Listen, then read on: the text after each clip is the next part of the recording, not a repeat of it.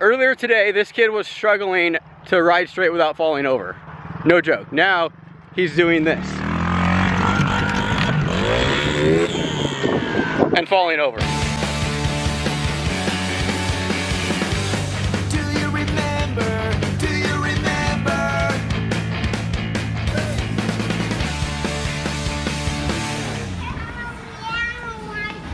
That's mud, right guys? Probably. it's not, you didn't step in any like cow poop or dog poop or donkey poop, Donkey Kong. Mason poop. I never poop in the woods. Here Mason, use this putty knife to try to scrape your poop off the bottom of your boots. That one's pretty good. Here, get that one. Ah! What? Die, die, die, die, die. Are you supposed to do it like that? You mean inefficiently? No, no, you're not supposed to do it that way. Here, just hold it. Hold the boot.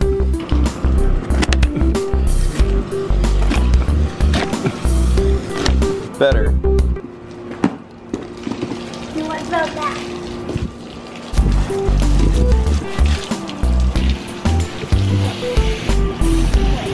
The thing I like about Mason is the cleaner the bikes get, the dirtier he gets. Let me see your legs. I got you. hey, stay still so I don't scream. Okay?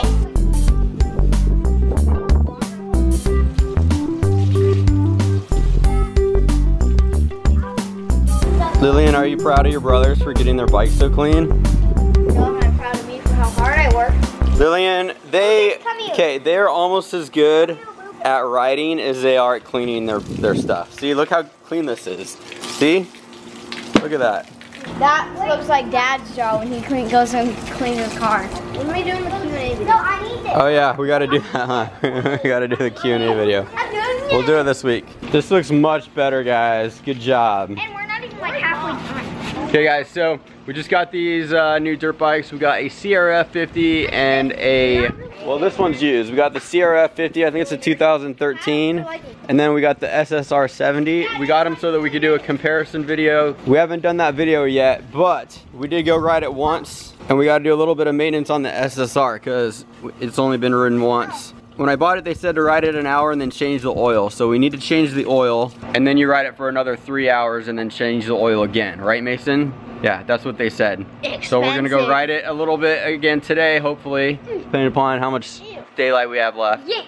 And what else do we need to do? I also bought a better air filter, but I don't know if I'm gonna put that on today. Let's check the chain. Chain's a little loose, so we'll probably tighten that up. So we gotta change the oil, we gotta tighten the chain, and then hopefully have a little bit of time to go ride today.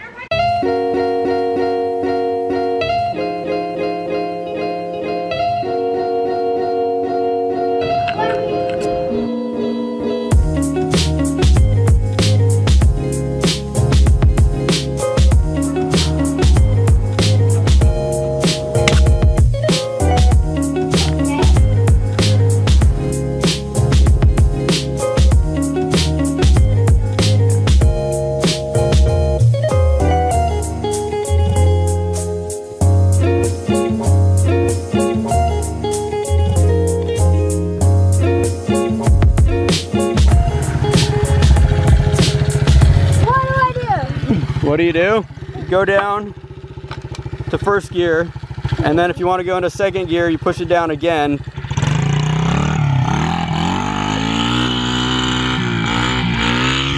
Well, that's one of the things I don't really like about the SSR is that the shift pattern is different than what a normal dirt bike is. It starts up and then you shift down in order to go up a gear.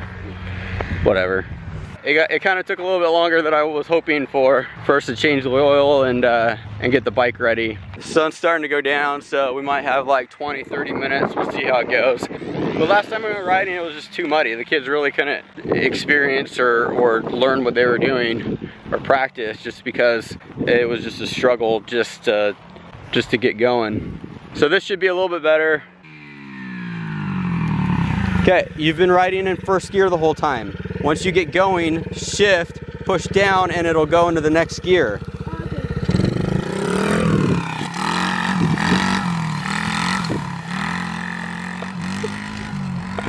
Oh man.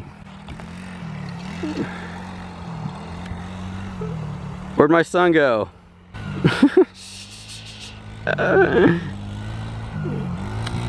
Just riding through the weeds. I don't know if carving through the grass blindly like this is a good idea. He could run into like a homeless family for all we know.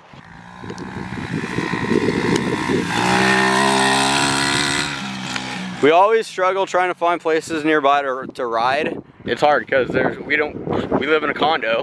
We don't have like a big backyard. There's nowhere for the kids to really ride. Tracks aren't aren't nearby, but they're also expensive. There is a. And there's not really like great places for them to learn. We're uh, kind of in between a shopping complex. We got like a Walmart over here. We got like a Costco over here. So we got the uh, jump builder Mason here. It's building a little takeoff whip for Luke. Here he comes, look out Mason. No, no, hey, look out, look out, move. Nice, Luke. He's standing up, head over the bars, nice. Job, Luke.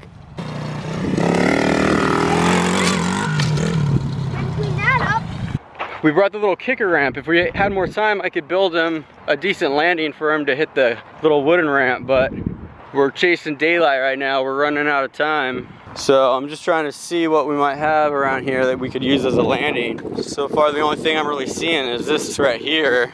That that could be that could be our landing right there. What do we got? So what if we what if we put the ramp like right here and use this as a landing?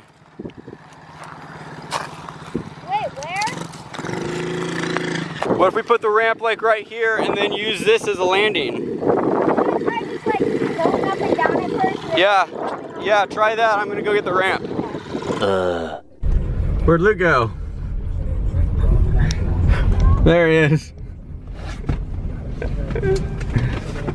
you good, bro? I tried it. I liked it. I tried it. I liked it more.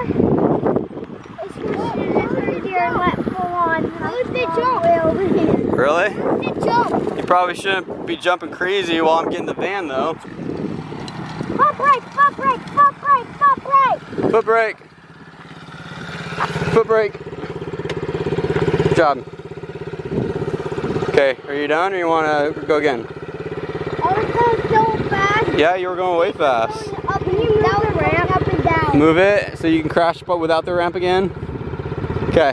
What are you doing, Mason? Oh. Can Luke have a turn? No.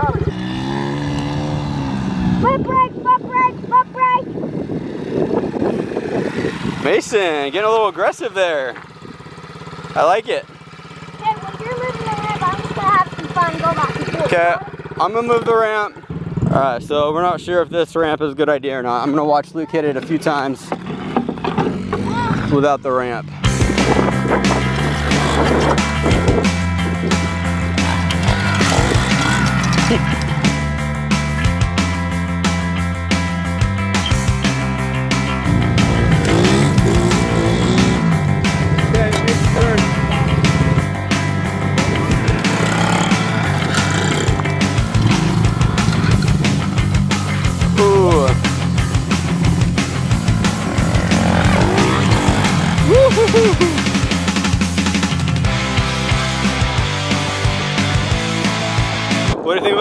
your landing right here? Yeah, I'll set the ramp up right at the top up there and this could be your landing.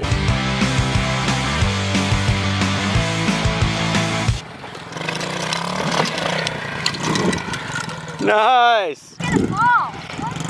He wasn't even going that fast. I feel like we should scoot it back some.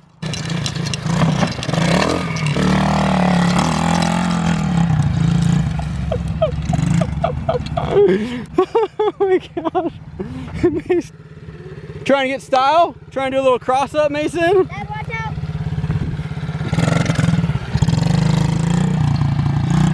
Watch out, watch out, watch out. okay, earlier today, earlier today, this kid was struggling to ride straight without falling over. No joke. Now he's doing this. And falling over. Mason, Ow. you okay? I I don't know if you really had a straight line towards the jump. I think you were kind of like coming at it from an angle. I died. Is that why? Good job, buddy. Is that why? Woo! Nice. Good thing I didn't break my neck. Yeah, that's probably a good thing, huh? Or to get paralyzed. Yeah, probably a good thing you didn't get paralyzed, huh? Okay, Luke, do you want to try it? Yeah. It's getting dark, so oh. it's kind of now or never. So you might, let's let's probably put your helmet on first, though. No, I'm good. You Gucci? Yeah, I'm good, bro. Ah, my neck hurts. Your neck hurts. Let me see. Oh, you kind of scraped it. Okay, Luke. Your little brother jumped it three times and only crashed once. So let's see how many times you can do without crashing. Look, my neck. Just don't go too fast, Luke. Don't over jump it. Don't go too fast. Right, Mason? Do you think it's better to go? I almost broke my neck. Is it better to? The first one was good. Then I decided to go fast on the second one. Is it worse going too fast or too slow? Do you think? Too slow? You went pretty slow the first time, and you did it perfectly. I'm just worried that if you hit that thing with any speed, you're gonna be landing like down there. If it was me, I would want to scoot the ramp back a little bit, but I'm not gonna make the boys do that if they don't feel comfortable. Go. Not too fast.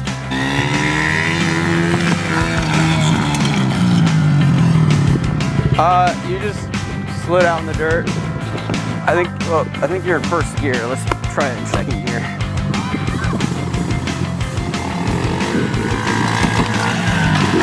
Ooh, yeah. Over jumped it. Do you want me to pull the ramp back? Sure. Okay.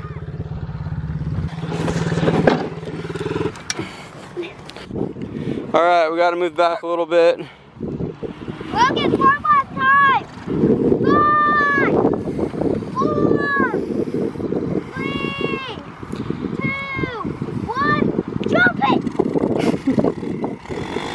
Oh, that's first gear. You're in first. Oh.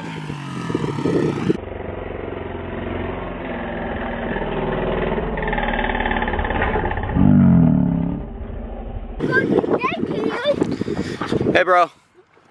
You're in first gear. You're in first dead gear.